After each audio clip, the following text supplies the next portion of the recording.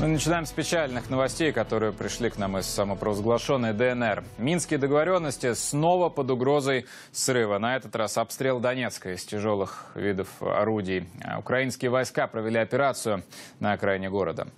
По сообщениям местных СМИ, по городу выпустили как минимум 6 артснарядов калибра 152 миллиметра и 5 снарядов калибра 122. Под огонь тяжелых орудий попали Киевский, Куйбышевский районы Донецка. Сильно досталось и окрестностям Ясиноватовой. О пострадавших информации пока нет.